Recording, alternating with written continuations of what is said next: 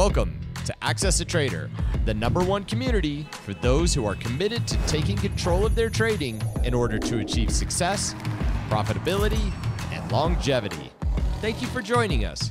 Here's Dan Shapiro to help you find your edge, master your process, and own your future. Hey guys, welcome to another edition of uh, the AccessATrader.com uh, nightly wrap up show. Hope everybody is doing well. Good evening, good morning, good afternoon, depending where you are in the world. Thank you very much for joining us. If you are brand new to the channel, uh, if you can kindly like, share, uh, even subscribe, come aboard on a daily uh, daily basis, we really uh, appreciate it and get notified when we upload new content. So let's talk about the market. So last week. Uh, Nasdaq got hit for uh, 3.2%. Uh, the S&P got hit uh, for 2.5%. Uh, Dow survived a little bit, if you can say that, 1.6%. Uh, the question was what was going to happen at the start of this week. Now we're kind of slowly but surely starting to get a little bit numb, uh, a little bit, a little bit more passive in absorbing information about the Middle East conflict. And like we said, even two weeks ago, eventually uh, that is going to happen. That's exactly what's happening now. Because again, if you if you actually broke down headline by headline, it's actually horrific. And if this was the first two days, the market would just be go, literally going up and down, up and down, up and down. Uh, and I find that the action very, very orderly. Uh, they've been really respecting levels. Um, and you can see here just from the Qs, you can see here we lost the 50 day. Uh, we traded down to the 50 day EMA. We lost the 50 day EMA, traded down to the 100 day EMA. We lost the 100 day moving average. And if you guys remember, uh, it started out very innocently. We lost to the 364 level. Then going into last week, we talked about the importance of 359. We lost 359. And going into today's session, we talk about there was a high probability that we were going to have a soft landing, get to 351. That's exactly what happened, right? That's exactly what happened. That's what I mean. Somebody asked me, on uh, Twitter today, what do I mean by orderly? That's what I mean by orderly. Every single level is being uh, is being respected, right? Is being respected and orderly. They're coming down to each single level, respecting it, and kind of either bouncing or going through. And that's what we are seeing exactly. So if you watch the weekend update, we talked about a potential soft landing at 351. Look at today's low, 351, which is now the double bottom from the September lows. Again, we'll get to the significance in a second. When you look at the SPYs, not exactly the same story, right? We lost the 200 day moving average on Friday, and this is now the second close below the 200 day moving average in a row. That's not a good thing. Uh, let's look at the IWM. The IWM has been uh, everybody's favorite whipping boy. Uh, if you are a small cap or mid cap trader and you fall into this category, you can see there has been no love for you for a very, very long time going all the way back to the September when it lost the 50 day moving average. And it's not even come close to reclaiming it. Uh, the difference between the NASDAQ and all the, you know, a lot of the uh, smaller venues. Uh, again, IWM is just in the toilets. It's getting absolutely destroyed here. And not least but not least, to last but not least, uh, you have the diamonds, right? The diamonds uh, cannot, you know, do anything. The Dow was down another 200 points today. Uh, ever since we lost the 50 day moving average has been absolutely hell. And again, when you look at the market, you know, Main Street America calls the Dow Jones industrial average the market. We all know it's it's 30 stocks, right? 30 stocks can now comprise the market. S&P Nasdaq 100 is a bigger, broader uh, view of what the market is. Uh, but for this point of conversation, the Dow Jones again cannot get out of its own way, and we are now looking at the diamonds uh, this 328 level is going to be kind of do or die for the next leg down. So where are we, right? Where are we? Uh, let's talk about, you know, let's talk about some names and we'll kind of get a reflection point of where we need. Number one, let's start off with the Qs, right? So the QQQs has done everything we talked about now in the last week. Every single level has been embraced. Every level has been tested. Every level has been broken. And now we have the ultimate, the absolute ultimate line in the sand. Guys, set and alert. It doesn't have to get there tomorrow. Like I always talk about the same thing with the video. We'll get to the video in a second. It doesn't have to get there tomorrow. Okay. It doesn't have to get there ever. Okay. But at least, like I say in every single video, be prepared. If you're not prepared for that level, you'll be always, uh, you know, be always looking for that license plate of the truck that ran you over. Levels are there for a reason. Technical analysis works. It works incredibly well. And this is why we don't randomly buy or sell stocks we wait for very, very specific channels and we wait for them to confirm. So write down this channel, okay? 351 is going to be the line in the sand. It's not room for interpretation. It's not an open forum to have a conversation with somebody else to debate. You're an idiot. No, you're an idiot. No, 351 is the line in the sand. That was the September lows. That is today's lows. And that was the only reason that we bounced today, right? So 351, line in the sand. Any close below 351. And I give you my word, you're not going to want to be long uh, the market at least that day when it finally loses 351. Because if again, if you believe in orderly, right, orderly organic moves, then 351, and here is your next pot of gold. We're talking about 339, 337 on the Qs. This could really start a violent cycle. Again, I'm, I'm not there to fearmonger anybody. This is just the truth, right? Again, I trade from both sides of the market. I trade day by day everybody in uh, the Access a Trader platform, that's what we do. We trade from day to day, both sides of the market. Uh, unfortunately, we can't control the market. Uh, we can't control the economy. We can only look for data, take control of that data, and trade off that data. So 351 going forward is going to be a major, major level. And if you look at uh, a lot of the names today, you'll get a sense of what's going on. Number one, although we did bounce, and it was a hell of a bounce. Do not get me wrong. It was a it was a hell of a bounce off that 351 level. If you look at the chart, what's the common denominator? What's been the common denominator since we gassed out at 373? We put in another, right? Lower high, right? So here's a high, lower high, lower high, lower high, lower high, lower high, lower high, lower high. Despite today's bounce, we put in another lower high. The previous day's high was 360, today's high was 359. That is another lower high. So again, be very, very aware. Is it possible, like we say all the time, even in the worst conditions, is it possible to get one, two days of buying? Sure. Again, that's the whole point. Uh, in 2022, when we had a bear market down 30%, right? We had two, three, four days of rally. So any potential multi-day balance is is what it is. But until they start taking out the previous day's highs and start building above those previous days' highs, these are all deemed, right? They're all deemed uh, to be dead cat bounces until we start reclaiming at least moderate major levels. So that's very important. Again, 351 in the sand. And if you look at the majority of stocks within that group, you'll notice exactly the same thing, right? We'll get to the pivots in a second, but look at Tesla, right? Look at Tesla. Tesla, we talked about needed to reclaim back three uh, uh, 214. It tried that twice today, couldn't do it. What's the common denominator? High, lower high, lower high, lower high, lower high, lower high, lower low, right? Second close below the 200 day moving average. We saw today uh, buyers come in for the November 190, 185, and 180 puts, guys. Again, this is just this is just betting that's on the tape. You can see it for yourself. And again, the longer it stays below the 200 day moving average, the higher probability you're going to see high, lower prices. Again, is it possible tomorrow it reclaims Friday's channel and gives a one or two day bounce? Absolutely. I would actually like it. Okay. I, I would actually like it just because, again, you don't need a market to go straight down and straight up. You need some sort of, you know, you need some sort of rest. You need some sort of, uh, action sequences that are just digesting, and that's what it is. But again, you have to be prepared on both sides of the market. As of right now, we are closing for the second day below uh, the 200 day moving average. Look at AMD, right? AMD could not rally at all. Here, here at least we saw some names uh, try to uh, try to at least put in a dead cat bounce. It couldn't do so. We talked about it uh, over the weekend update. There was a little channel here. It traded back to the 200 day moving average. Again, that's going to be a major line in the sand. Look at a name like Amazon, right?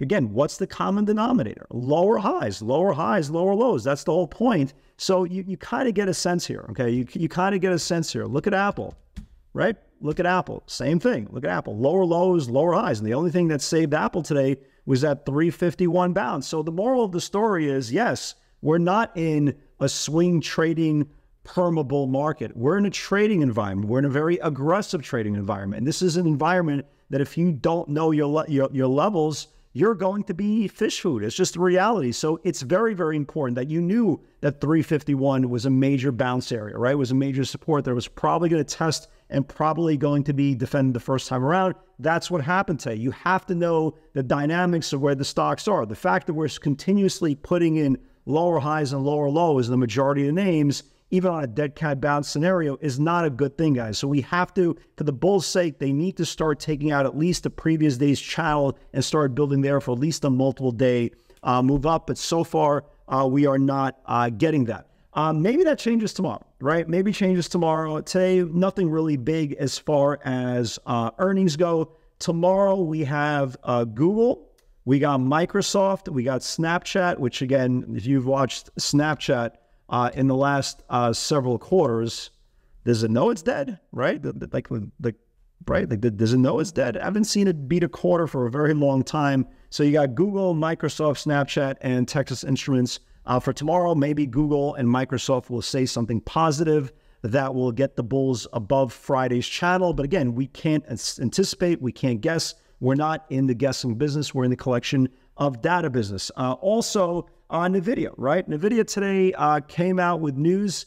Uh, as we were talking about on uh, the weekend video, we're watching this bottom channel. It got right to the bottom channel here. As you can see, it got right to the bottom channel and they came out with some uh, some PC video game based chip and blah blah blah. The stock went higher. We actually had a pivot to the upside. Again, we'll get to the pivots in a second. But again, we we talked about this bottom channel here, right? On the weekend video, we continuously talk about this bottom channel because again, if this is a one or two day wonder and this thing starts getting below this bottom channel, it's going to be in trouble. So again, you have to know your level. So going into tomorrow, there are a couple of names that are watching for potential dead cat bounces. Uh, definitely, definitely, definitely. But at the same time, we are wary of what's going on. The one name that continues to hold up uh, very, very well is Netflix, right? Netflix has had a good earnings quarter and it's resting. That's a the longer it sits above the 50-day moving average, the better. And you can see here now, this is day three. And what's good about this move here, this digestion move, it's coming in a, a, a high volume and then a lower high volume and then a lower high volume. Unlike stock price action, you want to see small volume on distribution. That means the sellers are getting comfortable. I have to assume, and again, again, we're just watching, we're just talking out loud, but I have to assume if there is a significant dead cat bounce in all of technology in the next couple of days, Netflix will eventually wake up. So because the fact that remains, the fact that look long, build a base above the 50 day and the sellers are comfortable there, well, the next move up should be higher as well. So it's definitely a name uh, we want to watch. I'm watching for the options market in this thing. I'm assuming by Wednesday, Thursday, if it hasn't sold off and given back the 50 day, it'll probably start to rev up. So I definitely want to keep an eye on Netflix uh, for the next uh, couple of days.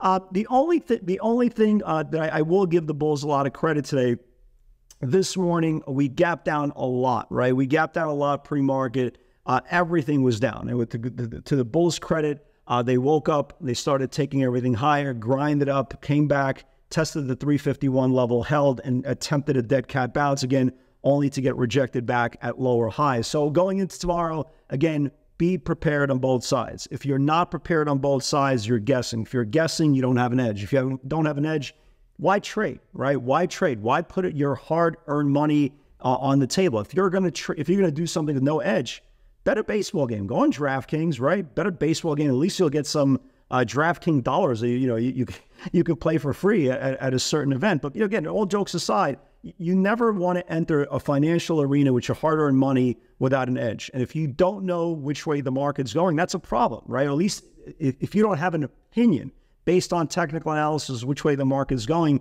that's a problem. You need to understand the dynamics of the market, why it's going uh, up macro, why it's going down macro, why it's going sideways, why it's negating good news, why it's negating bad news. When you get all that information, I promise you that's going to translate into making better, smarter, more fiscally sound decisions in your trading, and you'll see it uh, on your ledger. So let's talk about uh, the channels today. Uh, you only needed one, right? You only needed one. We'll get to that in a second. Uh, we had a, you know, so it was actually a pretty good solid day. Uh, a lot of things is not going to show up on the Twitter feed because a lot of things we had uh, rejection plays, we had bounce plays. Um, so really good, you know, an overall pretty good uh, organic day. So I was watching Oracle, uh, $100, 66 cent, uh, level if it builds below could flush. Never got there. Uh, AMAT, we talked about in the video. Not a big move, but AMAT 133 held three times. If it builds below, can flush. Uh, only went down like a dollar and change in the morning. You can see here, lost this level here when everything started rallying. It started waking up. But again, another example of, again, even though it attempted a dead cat bounce, it was only up 11 cents in the day. You can see another lower high from Friday's channels. Again, not a good thing. This is kind of the whole point. Uh, NVIDIA got down to that 309, 409 80s level, held and had a really, really impressive rally. Guys, I am still watching. Is it possible NVIDIA has a, you know, uh, another update tomorrow? Yeah, but it's possible, right? Of course, it's possible. I'm actually watching it uh, for another uh, move down, but I'm telling you, if this thing gets down to the bottom channel, folks, set an alert because if it gets down to the bottom channel, We'll see, right? We shall see, said the blind man. Uh, Lam Research, we've been talking about this for a couple days. Inside day on Friday after earnings miss. 598 if it builds below, can flush, can see in the 480s. Uh, that's kind of what it did, right? That's kind of what it did here. So uh, LRCX took out that 598, traded down to the 480s, 489, but still, hey, got to the 480s. Uh, only again, and you can see again another example of a lower high from the previous day's range. Again, Bulls, you got it. Get your foot out of your tush to, to start waking up, or else, again, the longer we start building the supply, not going to be good. Uh, this is definitely the trade of the day uh, for me, for a lot of you guys, and this is what we joked around in in the webinar today. Said, hey, this is you know it's nice to have a five minute workday. Uh, Tesla lost the 210.40 and then lost the pre market lows of 208, and we literally covered about a dollar, you know, dollar and change uh, right from the lows. Uh, you know, stock got down to like 202 at, at 203 and change. I was like, yo, this is too big of a candle. We got to take it off. And, and somehow that correlated with that 351 bounce on the Q. So it worked out really well. Great, great job on Tesla. Again, a lot of really ugly uh, put buying still coming into this stock in November 185s, 180s, and 190s. Uh, AMD, that again still looks lower, 101.40. If it builds below, can flush. Here was uh, AMD, right? Flush down went all the way down to 99. Again, guys, watch that 200 day moving average for the next couple days uh, for potential more. And NVIDIA, right? NVIDIA. So here was the pivot on NVIDIA. NVIDIA needs a new base, uh, 24, 425, 426 for potential 428, 430 push, right? Again, we're watching it to the downside, never confirmed. So yada, yada, yada. Look what the stock does, right? You don't need, again, you don't need to fall in love. You don't need to fall in love with the stock fall in love with the channel. Again, took out the 425, 426 level, and it traded right to 430. So great, great job uh, for all you guys who caught that as well. So that's it, guys. So again, these are the facts. I don't want to bring be the the the you know the person that brings bad news, but if you are a perma bull, guys, again lower highs and lower lows is not a good thing. Watch that 351 level, guys, in the future, because again, if that thing falls and we close below 351, it's going to get very, very dicey. Guys, have a great night, everybody. God bless, and I'll see you all tomorrow.